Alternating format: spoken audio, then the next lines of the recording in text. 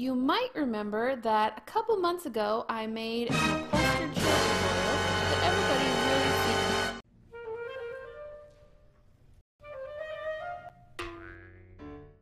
Hi everybody, welcome back to Bentley House.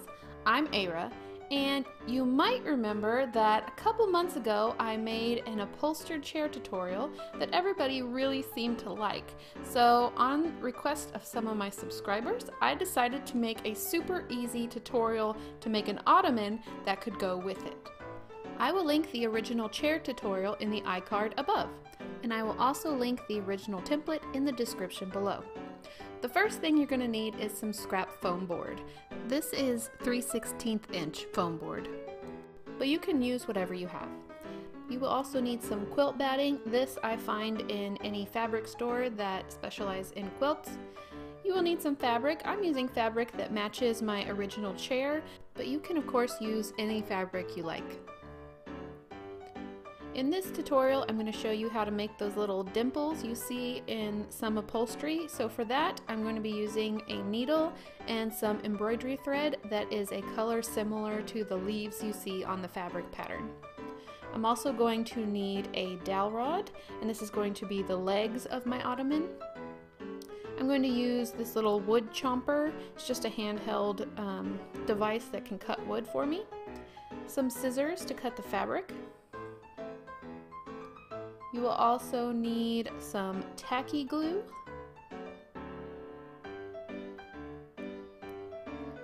And the template that I left the link below in the uh, description. You will actually just need the pieces marked D. So if you've already made the chair and you have the pieces cut out, just save those two pieces and that could help you create this ottoman. So First thing I'm going to do is cut out the pieces if you don't already have them cut out. These are actually very easy pieces. There's nothing special to their shape. So if you don't want to print it, go to the trouble to print out the template, you can just measure out the size ottoman that you want. This actually makes a rather large ottoman. So if you want something smaller, feel free to create your own rectangle shape. Now I'm going to trace the pattern onto my foam board. Usually I try to line it up with the side, but this foam board piece has been used so many times that it is not straight. You can either decide to make it as wide as your chair or a little bit thinner. Usually ottomans aren't wider than the chair, so you can just play around with those looks and see what you like. So after I trace my patterns onto my foam board, I'm going to take my X-Acto knife, which I forgot to mention in the supplies part of the video, um, but most miniaturists have at least one laying around. I'm just going to use my X-Acto knife and try to keep it as straight up and down as possible so I have straight edges on my foam board. Then I'm going to take my tacky glue and I am going to glue these two pieces together. These two pieces are going to create the base of our ottoman that we can later stick the chair or the ottoman legs into. Now I'm going to mark out where I want my upholstery dimples to be. I actually have to figure this out before I upholster anything. So I'm just marking them by eye, but of course you can measure them if you like. I'm just going to mark four, you can do two, you can do eight, whatever you like. Now I'm going to take my needle and I'm going to punch all the way through my foam. Make sure you don't get your finger while you do this. And as I punch it through, I'm just going to wiggle it back and forth a little bit to make sure that hole is open. Now that I have all four holes done, I can start adding my quilt batting to the top of the ottoman. I'm going to carefully put my tacky glue on there so that I don't get tacky glue in any of the holes. And then I'm going to turn it upside down onto the quilt batting. I'm going to carefully cut around the edges so that it's flush with the foam board.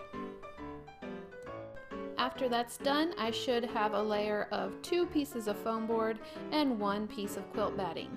You can add as many pieces as you want. For this, I added three pieces of quilt batting, following the same steps. Now I want to add quilt batting around the outside edge of the ottoman. So I'm going to cut a long thin piece and I'm going to line it up with the bottom of the foam board and glue it on all the way around the ottoman. When I get around to the part where I started, I can just clip off the edge and then line it up with the edge I started with. You won't be able to see this seam after you put the fabric over the ottoman. Once that's glued down and dry, I can go ahead and cut off the overlapping pieces of quilt batting that are on the upper side of the ottoman. I want to line it up with my top piece of quilt batting. Now we can move on to the fabric. I'm going to grab the fabric that I want and flip my ottoman over. It's sitting on the wrong side of the fabric. We want the right side out so that we have a beautiful pattern once it's folded down over the ottoman. I am only going to put glue on the edges of the ottoman and not on the top. Occasionally glue can seep through fabric and it can make it look ugly or dim and so I like to make sure that I only put glue on the sides of the ottoman and not the part that people will most likely be looking at. Then I'm just going to simply put it top down on the wrong side of my fabric so that I can begin to fold up the edges of the fabric, kind of like a, a present I'm going to make sure each side folds up flat against the side of my ottoman and I'm going to have four corners that kind of stick out like triangles. Make sure when you're folding it up that you're careful with the sides that you don't scrunch them down too much so that you have rounded sides.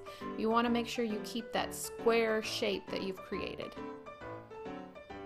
So on the corners, like I said, we have these triangle shapes and you want to make sure that they are squeezed together and glued together very well because later we're going to be cutting them off. Next we're going to make our dimples. You want to take your embroidery thread. I left mine the full six strands, but if you want to make it thinner, you definitely can. I made a double knot in the center of the string. This is what's going to keep it from going all the way through our ottoman. Then I'm going to fold the string in half so I have the knot on one side and I have the loose ends on the other side. Then I'm going to take the loose ends and put them through the eye of my needle and I'm going to put about halfway down my string so that it's able to be pulled through the ottoman. I'm going to put the needle through the bottom first so I can find the hole that I originally made. Then I'm going to go back down through the top, sorry it's off screen, back through, through the top so that um, I can find the hole that we previously put in the foam board and pull the string down. This is what will make the dimple in your fabric. Then to secure it, I'm just going to take some tacky glue. I'm going to put some of the tacky glue into the hole and then some of it on the string and then I'm just going to hold that until it's tacky enough for me to let go. I'm going to do this four times. Just do it as many times as as many holes as you made. Now I'm going to be focusing on those triangle corners I talked about. I'm actually going to cut straight up and then curve out when I get towards the top of the ottoman. This is so later on I can add a little bit of glue to that top curve, push it down with my finger, and it will make a more realistic curve at the corner of the ottoman. I will do this to all four corners. After that's complete, you can go ahead and trim off any excess material you have hanging off the side and leave that flush with the bottom of the ottoman. Next we're going to cover the sides and for this we're going to need one long thin strip of fabric, one that makes you make sure that it wraps all the way around your ottoman. I am going to hem one edge of it by using tacky glue. You can leave the other edge unhemmed. I am making approximately a quarter inch hem along the length of the entire piece. Once that's dried, I can add it to my ottoman. I want to make sure I have the hem side up and I'm going to put a little bit of tacky glue along the edges of my ottoman. I'm going to smooth that out with my finger so that it's not clumpy and doesn't show through the fabric. And then I'm going to start in the middle of the back. You can also start this at the corner if you like. And I'm going to take the fabric all the way around the ottoman, lining it up with the top of the cushion.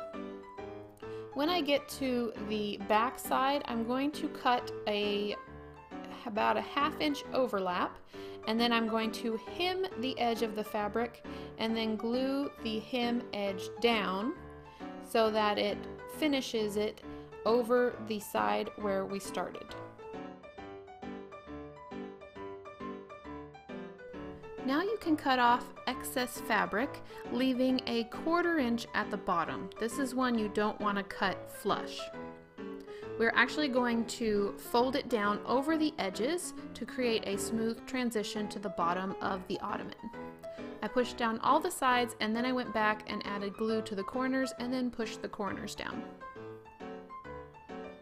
Now we're ready to mark where our legs are going. I'm using a pencil and punching into the foam board so I can mark where my legs are going and then I'm using an X-Acto knife and then scissors to make the hole bigger and bigger. Finally I'm going to use the dowel rod to make the hole big enough for the legs which are made out of the dowel rod. I need to do this for all four places there's going to be a leg.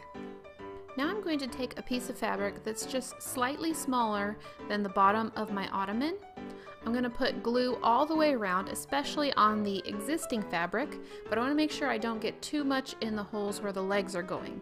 And then I'm going to gently press my fabric down. It's going to have unfinished edges, but as long as you have enough glue, they won't come unraveled. While that dries, I'm going to take my dowel rod. This is a 3 16th inch diameter, and I'm going to mark it off in 3 quarter inch sections. Then I'm going to take my snipper and cut them into pieces. I will need four of these. Then I will use my X-Acto knife to taper down one end. Be very careful when doing this. Next, I'm going to make sure that I stain it using the same stain I used on my original chair. This is an alcohol marker, um, but you can use any kind of staining marker or actual stain that comes in a can. Now I'm going to open up the holes that we previously created underneath the fabric and I'm going to punch in the tapered end and then turn it around and put in the larger end of the dowel rod and make sure I like how it looks and like how I like the length. Then I can fill the holes with tacky glue and put in the legs. I like doing this with tacky glue as opposed to hot glue because you can fiddle around with them, make sure you like the way they're pointing, make sure um, you put it down, see if it wobbles, and if it does, you can either push in or pull out the legs until it sits how you like. And that's it. That's my tutorial for this little ottoman. It's a pretty simple piece, but um, if you're looking to make a set, you now have something that can match your chair. If you like this video, please leave me a like. If you have any ideas for future tutorials I can do, leave me a comment, and as always, you can share your creations with me on Instagram. I always love seeing what you guys create. I'll see you in the next video. Bye!